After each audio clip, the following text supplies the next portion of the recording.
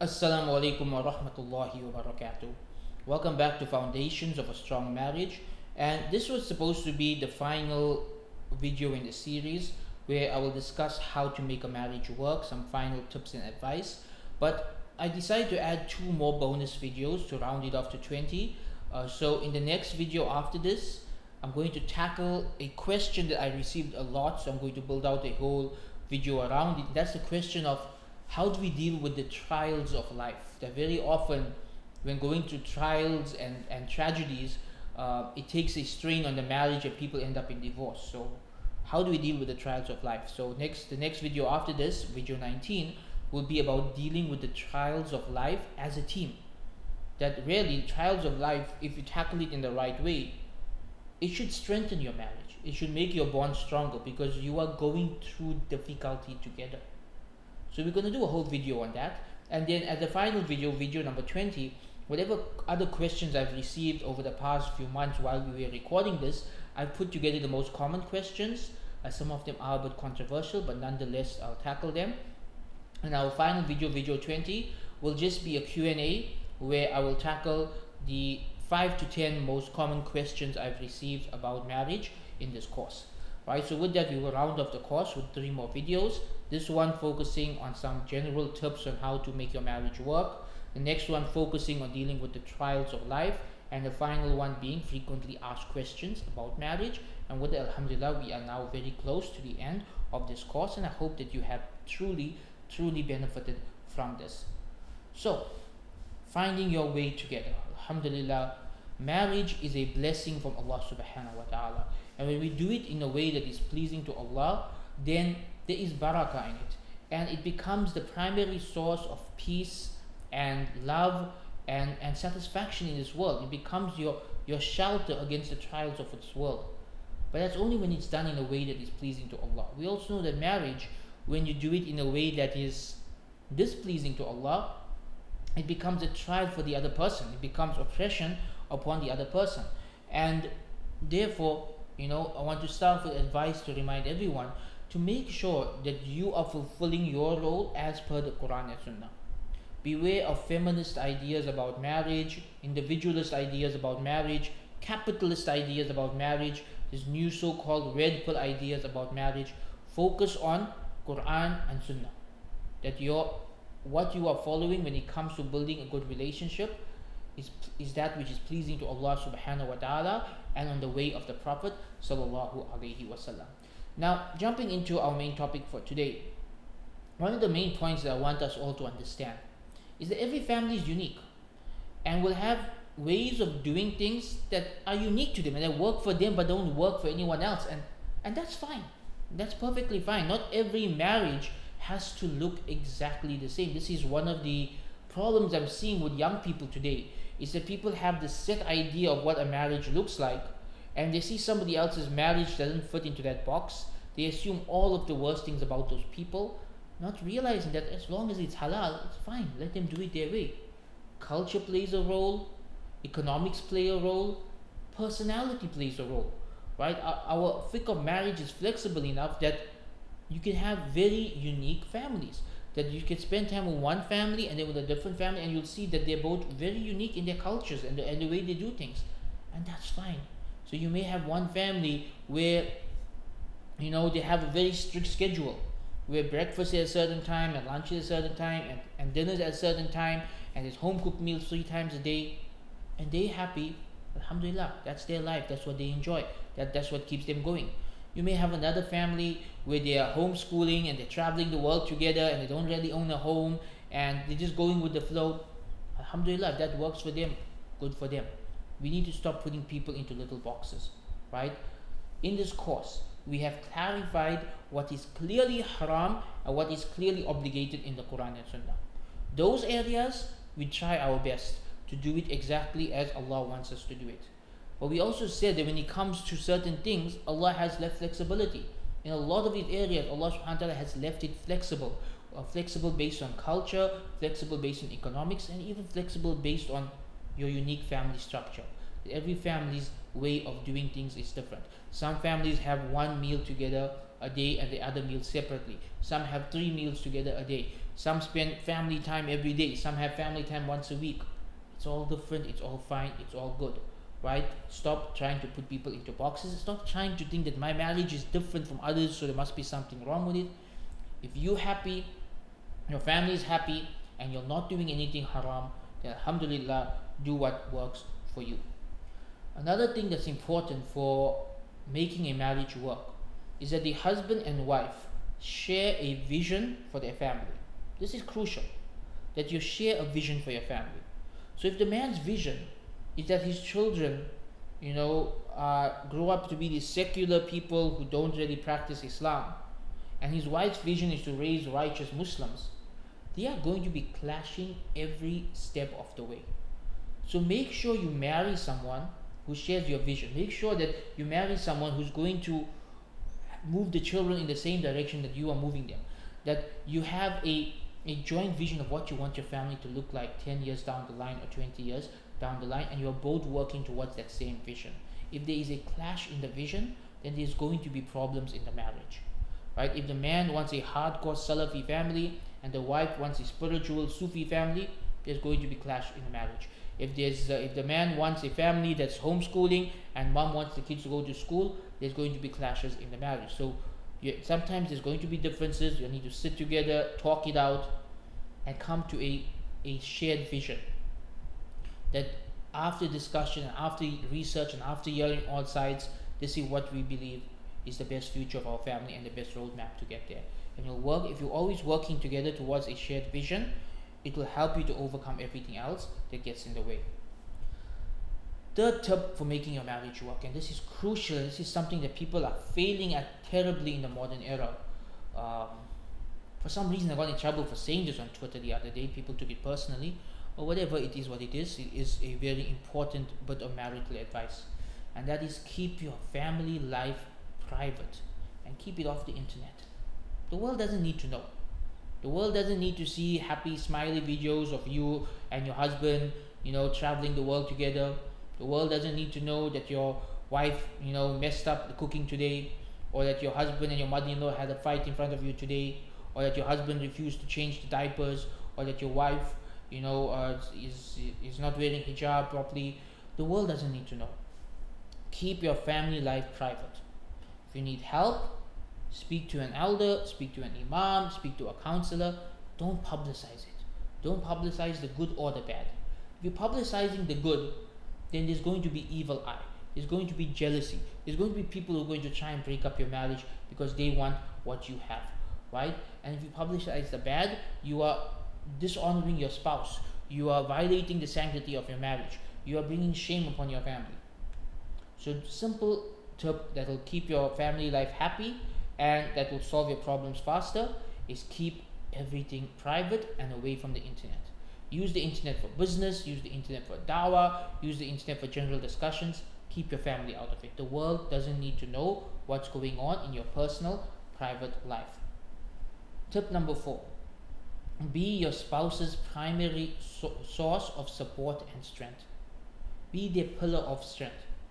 When the Prophet received the first revelation, and he he was overwhelmed by it and not sure what to think of it he went to his wife and he held her and he explained to her what happened and she was her, his pillar of support and strength in that moment both husband and wife will have times in their life where they will have to play this role there are times where the man is going to have to be his wife's pillar of support and strength and there's times where the wife is going to have to be the husband's pillar of support and strength and when you do that at that moment when you are there to, to, to strengthen your spouse and to hold them up rather than to put them down, you make your marriage stronger than ever. You build bonds that become almost unbreakable. But if you use that moment to put your spouse down, to put yourself up, to pursue something greedy or selfish, then you are breaking up your marriage over petty things. So make sure that you are your spouse's, your, your spouse's primary source of support. That the husband knows during his difficult times he can rely on his wife for emotional support. And the wife knows during her difficult times she can rely on her husband for emotional support.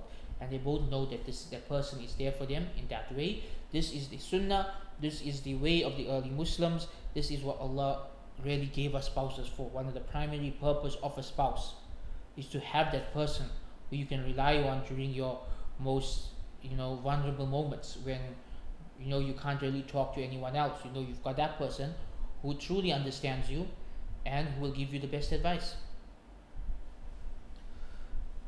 another aspect of making your marriage work that I want to just very quickly recap, and we cover this throughout the course in a variety of different lessons, is understand that the fiqh of marriage is very flexible.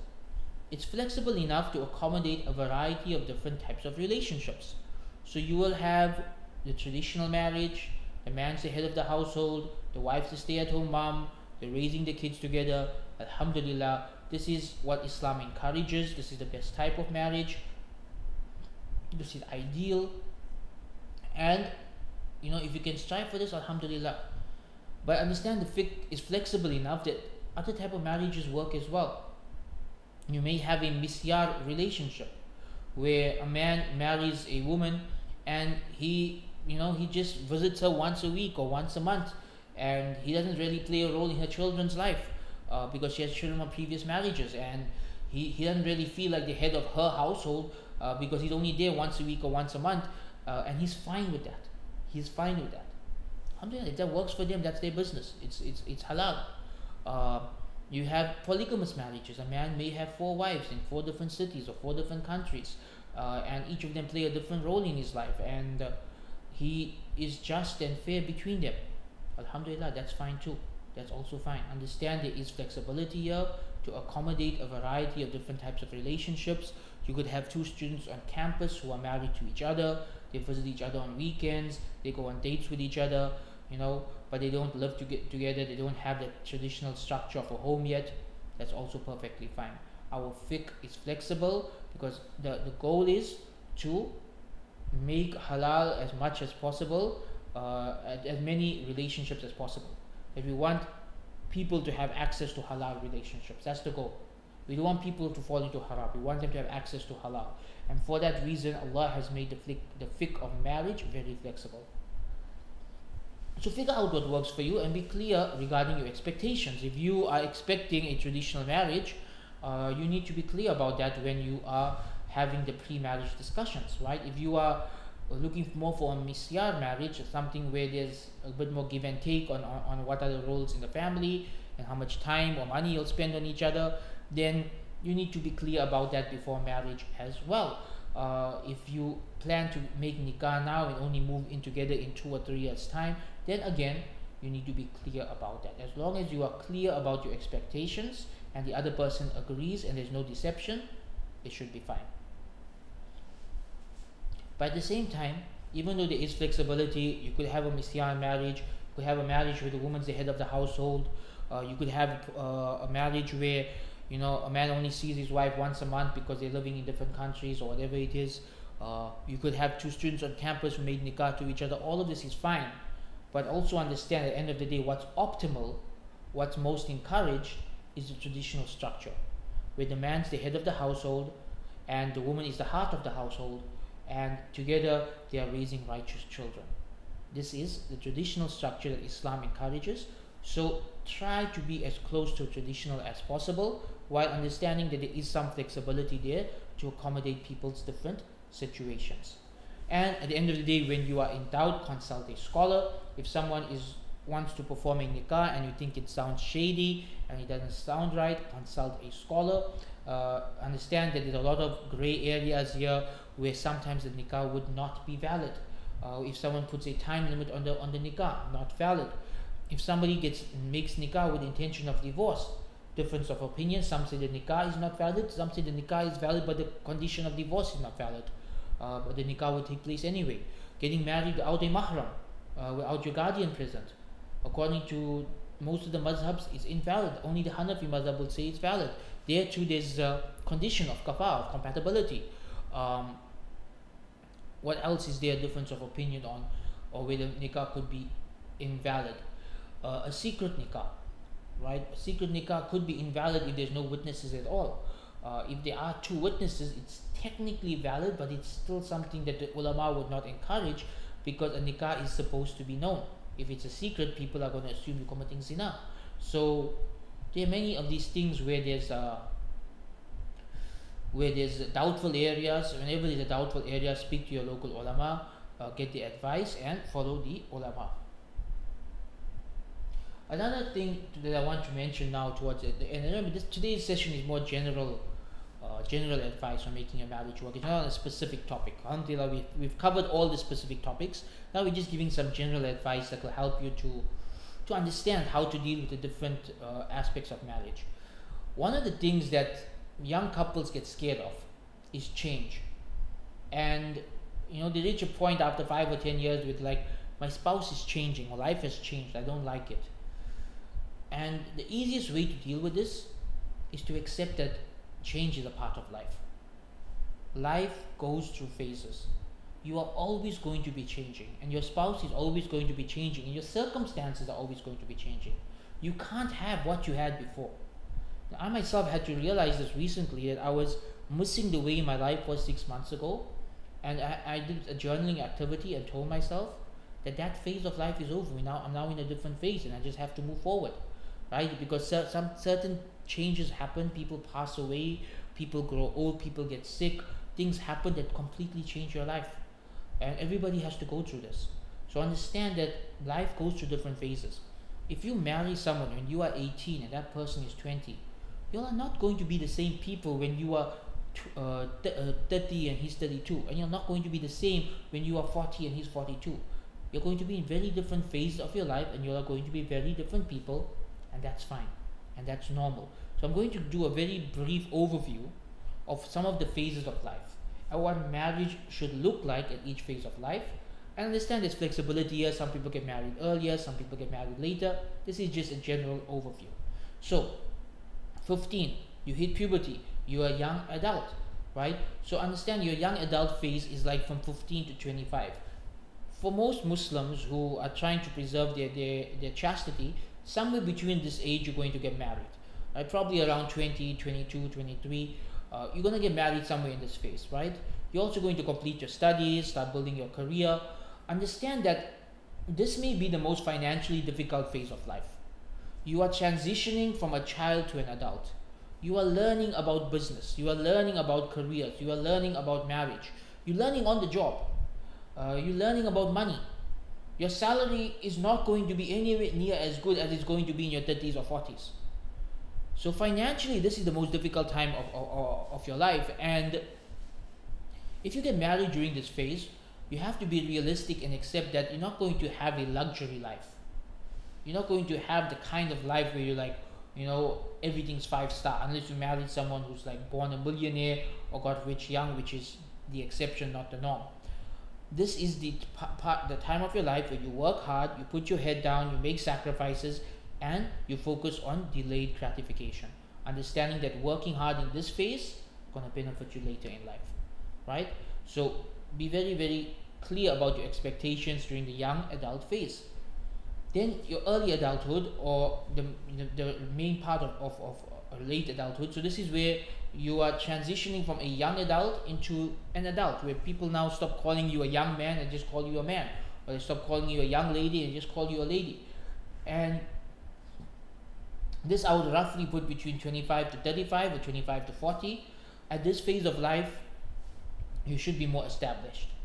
So you should have some savings you should have a lot of skills built up after 10 to 15 years of personal development and reading and studying you should be thriving in your career if you've been working your way up the career ladder thriving your business if you've been building up your business experience. You should have children you should be focused on raising your children. This is now your life is starting to look like your vision. That vision you had when you were 20 you're not really going to see it by 22 23 25 but hold on as you're getting like 30 32 34 you're starting to see it. You're starting to see that finance that you wanted. You're starting to see your children growing into what you wanted you're starting to see uh, your career take shape the way you want it. Now you're starting to see results because life is it's slow really. It takes time. The things that we want overnight, they really take a lifetime to accomplish. They take a decade to accomplish. Now, for some people, they're only gonna get married in this phase. Um, the advantage of that is they, they they're probably going to be more financially strong when they start their marriage.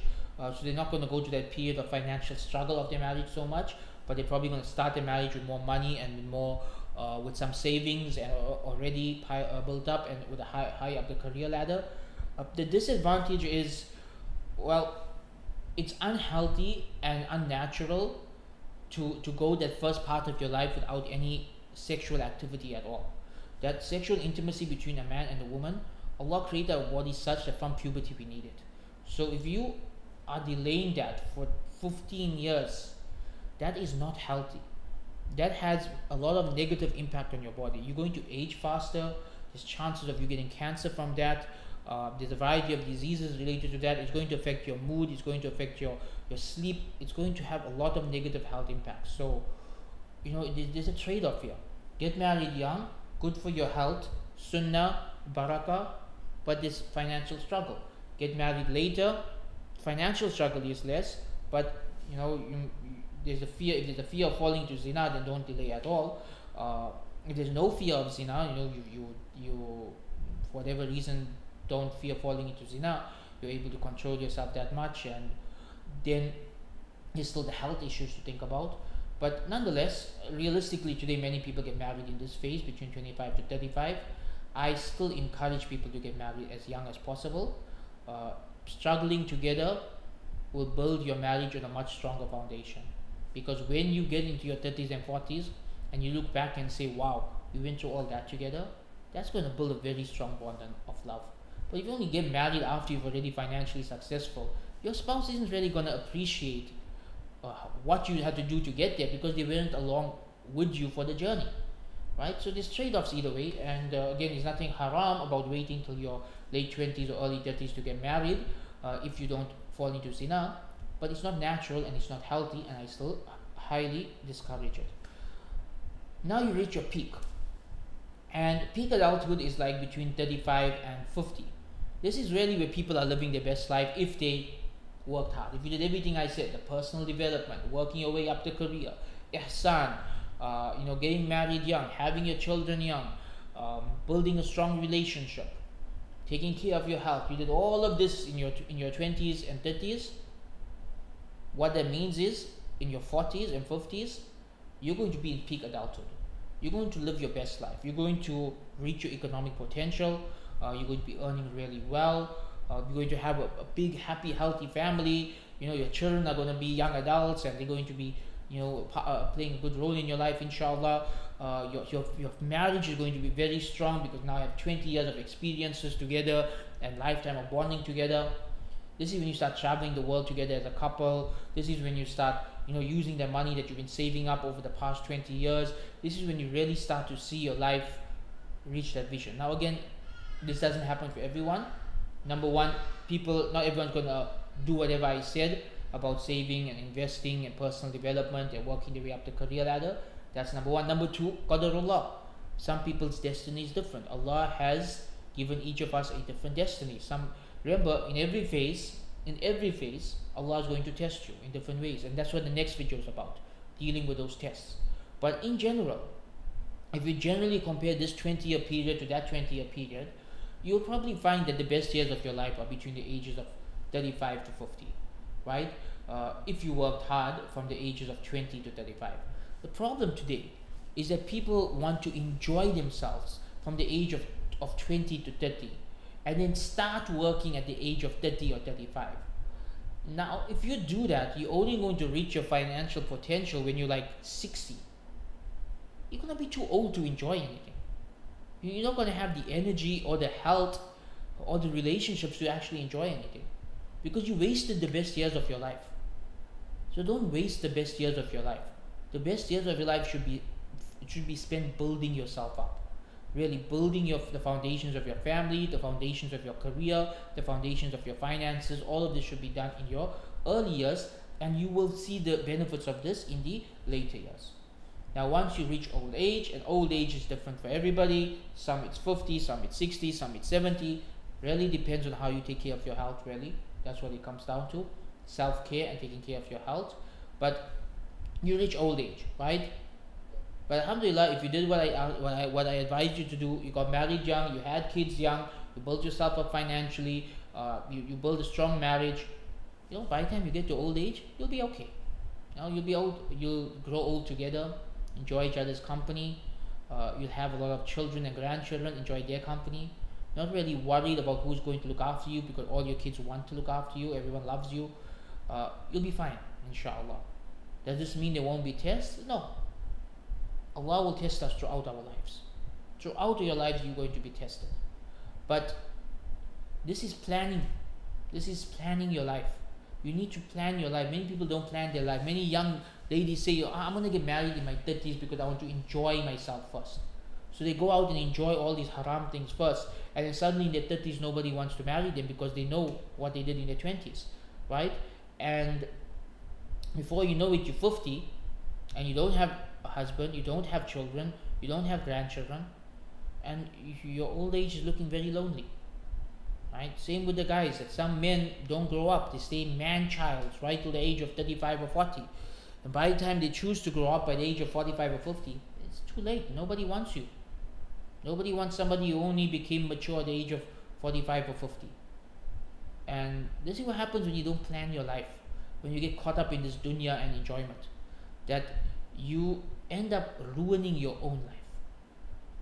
Understand that what Allah wants for us is best for us, and what we want for ourselves is often not good for us. So follow the advice of the Quran and Sunnah and plan your life accordingly. Get married young, have children young, have many children. All of this benefits you throughout your life. But if you following the, the nafsi ideas the, of, of the West, then this is going to have negative repercussions for the rest of your life. So this is just an overview of what I believe the phases of life should look like if you follow my blueprint. And again, everyone's life is different and everyone's qadr is different. Also want to talk a little bit about long-term planning or long-term thinking. This is very important, right? Uh, I mentioned this in the previous video. That too many of us these days have an instant gratification mindset. We want things now. We want to be wealthy within one year. Uh, we want a strong marriage within the first six months. You know, we want our children to be awliya by age 15.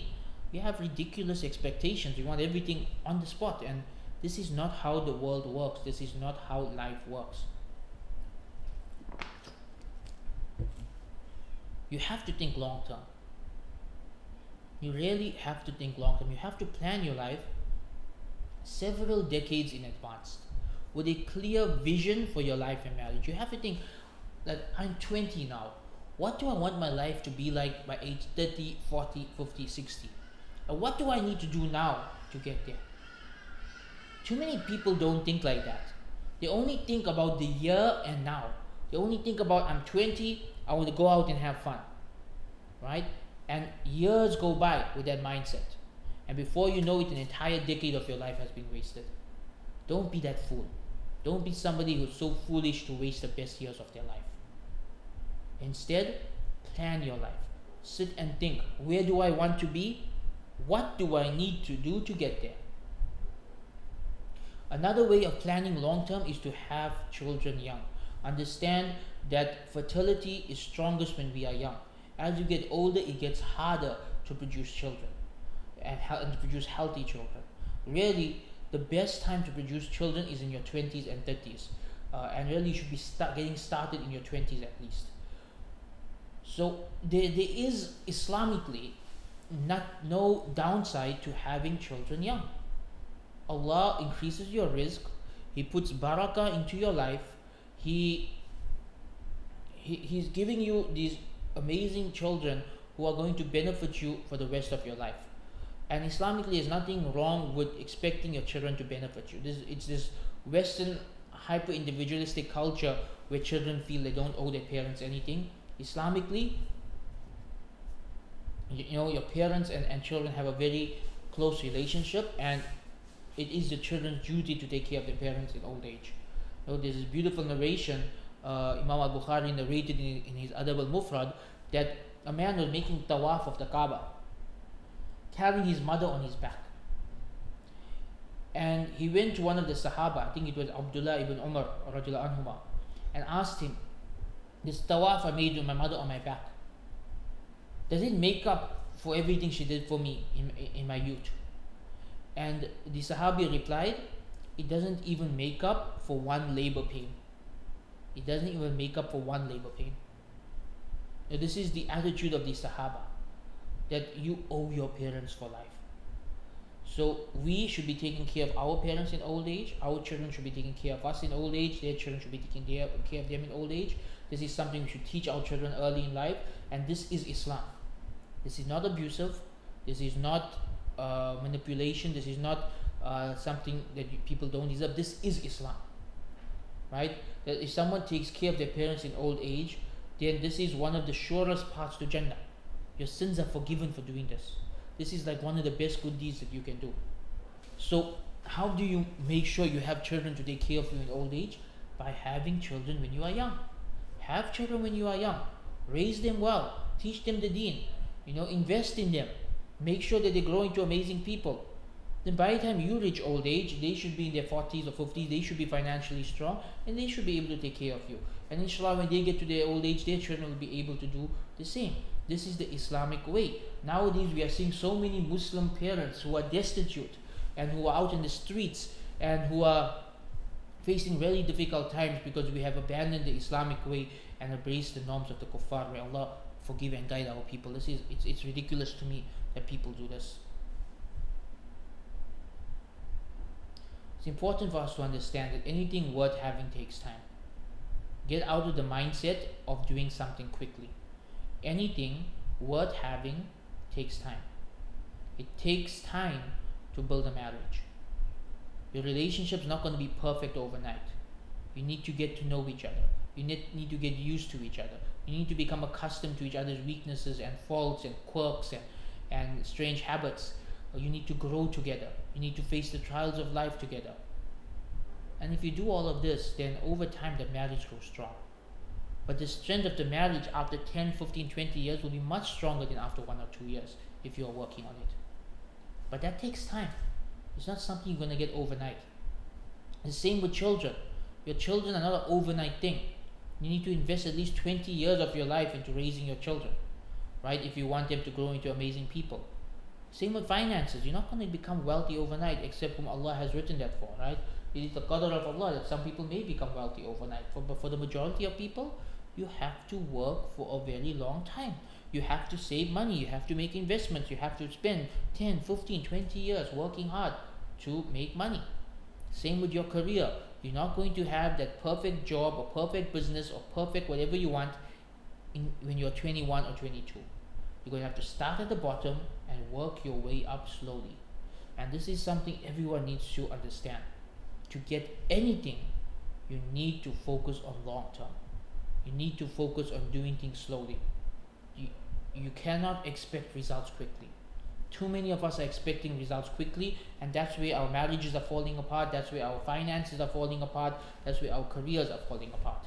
You know, so many young couples who get divorced in the first two or three years of marriage, they get divorced over such silly things that they had just a little bit of patience, they would have, you know, those things would have become, you know, non non issues within a year or two because they, they, might be quirks that your spouse will outgrow. They may become things that you realize later on are not a big deal. It may be something you can work through together as you get older and wiser. But instead you know we want that person to be perfect today instead of realizing everybody is a work in progress.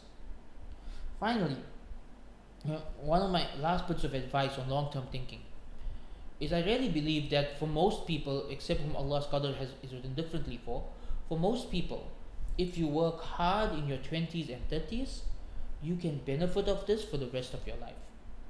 People who really put their heart and soul into doing the absolute best in their 20s and 30s, this is something they can ride the wave of momentum that it builds for the rest of their life. But if you waste your 20s and 30s, it is much harder to build yourself up later in life. You won't have the same level of energy. You, you, you won't have that that, that same drive and motivation. It is much harder to start building yourself up in your 40s and 50s. It's, it's not impossible. People do do it, but it's harder. Don't waste the best years of your life. Don't waste your youth. Your 20s and 30s are the best time for working hard. Whether it's working hard on your marriage or working hard on your finances or working hard in your career, working hard in your business, this is the best time to work hard. Doing so has long term benefits. So think long term, don't think short term. Don't think I want to enjoy my 20s. Think I want to enjoy my life. Therefore, I'm going to work hard in my 20s. My final advice on marriage, and as I say, we do have two bonus videos after this. One will be on dealing with the trials of life, and one on frequently asked questions. But my final advice in general on marriage number one, communication is key. Communication is key. Always communicate with your spouse. You're having problems, tell them what's wrong. You you are overwhelmed or stressed out, explain it to them. Uh, you are not feeling well, let them know. You have needs that are not taken care of communicate it. Communication is key. Too many times today when people come and they say they have marriage problems they don't really have a marriage problem. They have a communication problem. They have never told their spouse what they needed to tell them. So learn the art of communication learn how to articulate yourself well sit together and have honest heart to heart discussions and this will solve many of your marital problems number two Allah knows best, so trust His laws. Allah knows best, so trust His laws. Allah subhanahu wa ta'ala tells us in the Quran that perhaps you love something and it is bad for you, and you hate something and it is good for you, that Allah knows and you do not know. So treat the laws of marriage like this. Allah knows best. You love for marriage should be a certain way, but per Quran and Sunnah it's a different way. Trust Allah's way. Allah's way is best. He created you. He knows what's best for you. Therefore, what He has revealed is what is best for you. So follow His law, and you'll always find that it will guide you to the life that has the most barakah in it and that is most pleasing to Allah. So trust Allah's laws and do not try to change them. Do not give preference to man-made laws over Allah's laws. Do not move away from that which Allah uh, has has revealed towards that which humans have invented. Number three, when in doubt, ask a scholar. When in doubt, ask a scholar. I know in many aspects of marriage, there's difference of opinion, there's confusion, uh, there's different schools of thought, there's arguments online. Don't follow people on Twitter, don't follow people on YouTube, don't follow people on Instagram. Ask the actual ulama. Speak to people of knowledge. Right? Speak to a scholar of your madhab and ask them and follow what they say. Number four, never break up the family for trivial reasons. The family is a sacred unit in Islam, right? You have a marriage, try your best to make it work. Try your best and, and, and realize that you and your spouse are both work in progress. You both have your faults, you both have your weaknesses, you both have your quirks. That's part of being human. Don't break up your marriage over trivial reasons. Don't break up your marriage because your partner has a minor sin. There's no human out there without minor sins. Uh, don't break up your marriage because your partner has a, you know, they may smell in the morning, or they may have bad breath, or they may, uh, you know, have a gas problem. These are silly, silly reasons to break up a marriage. This is just people being human. Almost anyone you marry is going to marry is going to have these things. Uh, you know, don't don't break up your marriage because you don't like your sister-in-law or because you don't like your brother-in-law, or don't break up your marriage because you know you're not feeling it anymore or because someone told you you deserve better or because you think the grass is green on the other side or because it doesn't look like the marriages you see on Instagram or TikTok. No. The only time you break up the marriage is when you've tried everything possible and you've been to the professionals for advice and everyone tells you that this marriage is not good, it needs to be broken up. Right? When you get that advice from people who hate divorce, uh, people who hate divorce, uh, if they are the ones advising you that this marriage needs to be broken up and you need a divorce, that's when you know you need to break up a marriage. But in general, always strive to make things work. Never strive to, uh, to never never take the easy way out. That, that's the thing. Many people look at divorce as the easy way out. That you know, if if I get a divorce, I don't have to deal with this person's nonsense anymore. Well, you'll have to deal with somebody else's nonsense or loneliness. That's life. We all have to put up with each other. So don't be childish about about divorce. Only divorce, go into divorce if there is no other way out. Otherwise, find ways to make it work. And always consult your elders and mentors for difficult decisions.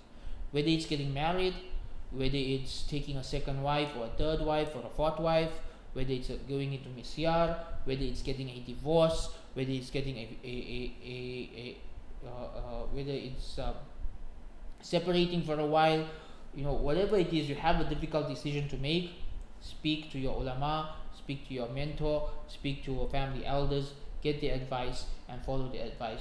Don't just do things uh, your own way right? Finally work on your relationship and never take it for granted. Understand that marital love is not like the love you have for your parents. The love you have for your parents is natural. It's there from the moment you are born. And it lasts a lifetime even if you do nothing with it that that love is always there. Like no matter how terrible a child gets their parents still love them. Even if it hurts they still love them because you can't do anything about it. That love is natural. The love between husband and wife is not there from the time you are born. You meet this person so, sometime in your teens or 20s or 30s and you may have never met them before in your life. But you get married and you you fall in love with each other.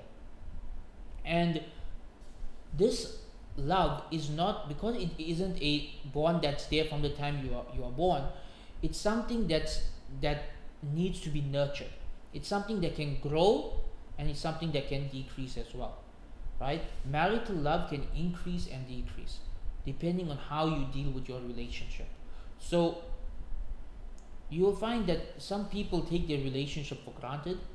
They stop spending time with their spouse they stop talking to them uh, they just assume that everything's fine.